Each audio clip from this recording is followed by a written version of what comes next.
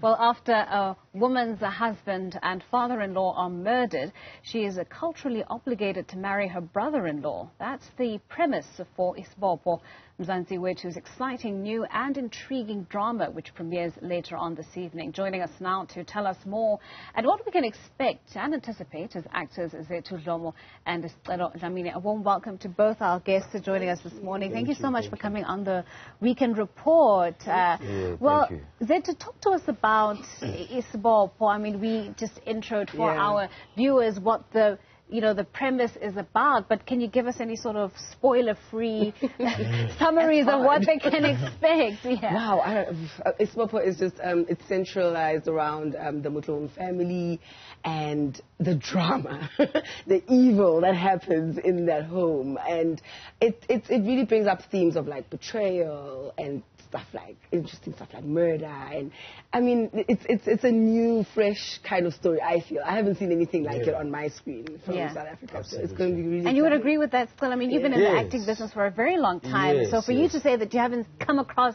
a script like this in a long time says something well inheritance is a very big problem in our society I mean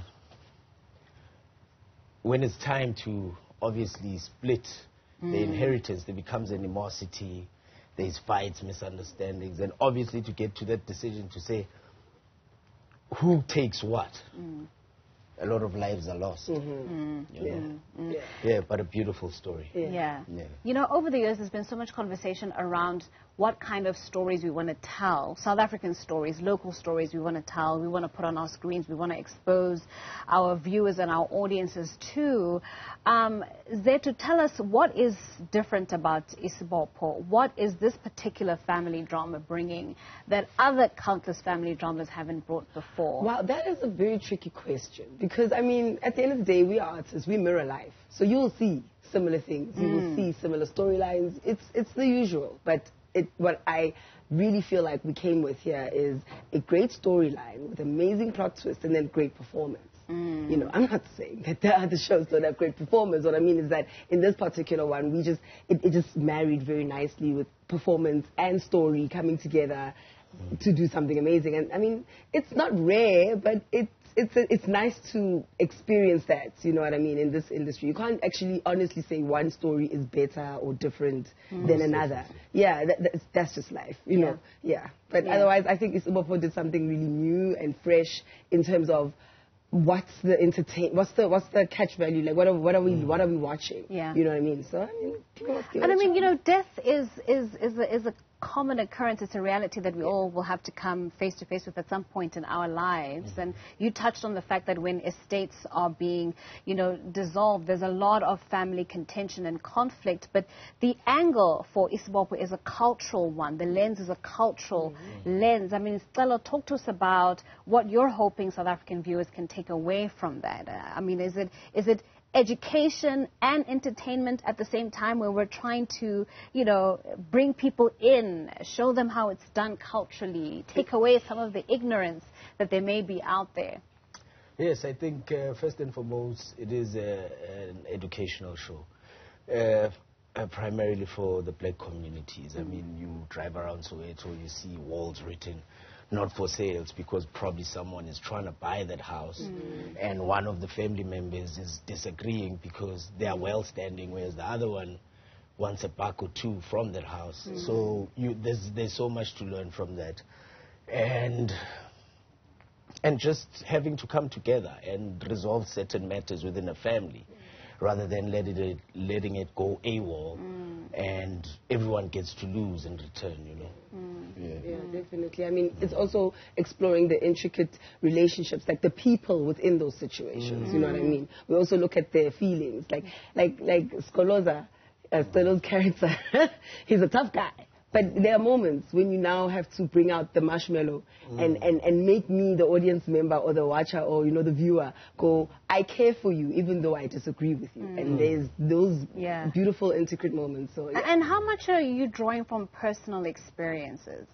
You know because you talked about how it's, it's it's it's it's you know art sometimes imitates life. Right. It's mirroring life. Mhm. So I'm assuming, making a safe assumption, I hope, that there is some life experience that you're drawing from, and, and that's helping you build on the character and deliver the character as you do.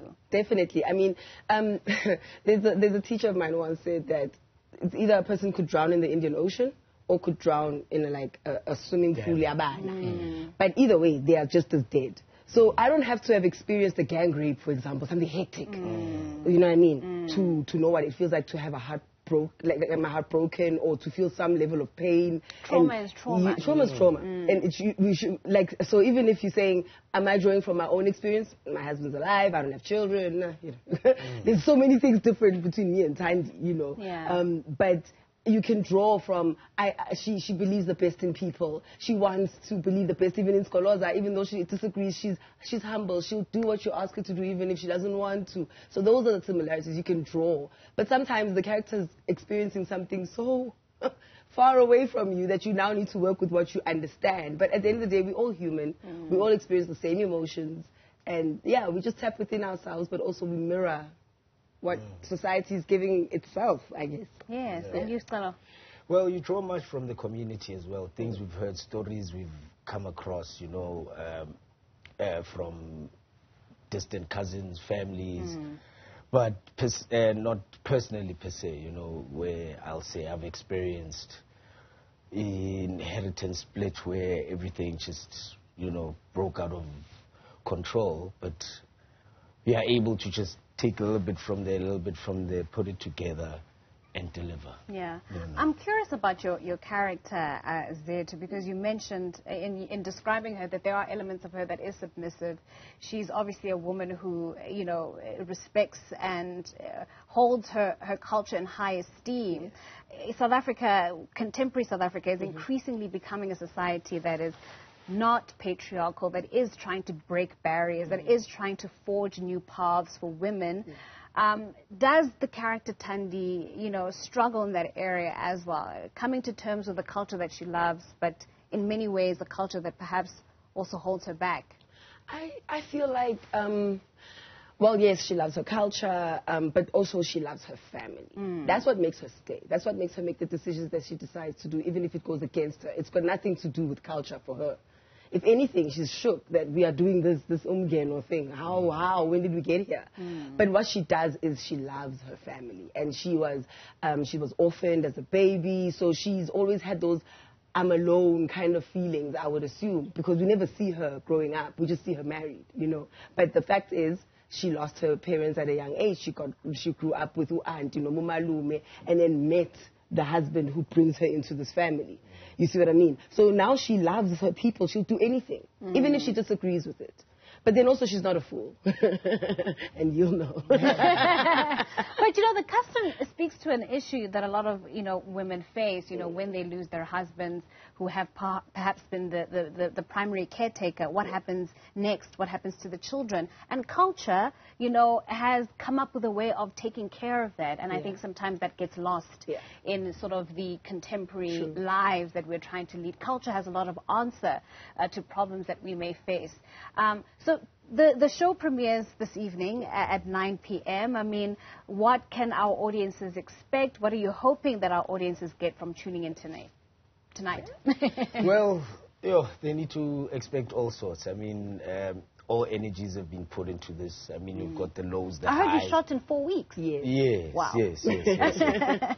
so there's there's so much to, to, to expect from the show. It's, it was a beautiful show. I mean, you're gonna go through the high, the low emotional roller coasters, and obviously just getting to understand how certain black families live and what they've gone through to be where mm. they are today. Right. I sincerely hope that the audiences at home also engage in dialogue about the themes and the topics that come through, like umgeno. I mean, it is a cultural thing, but at the end of the day, if you take something beautiful like culture and then you use it in a negative way, you know what I mean, then are we still doing the cultural thing or are we doing our own things for selfish gain? There's a lot to discuss, so I hope people enjoy mm. it. All right. Well, thank you so much to both of our guests for joining us in studio to talk to us about this new show, Isibopho, uh, that is actors Zethu Dlomo and Sicelo Dlamini.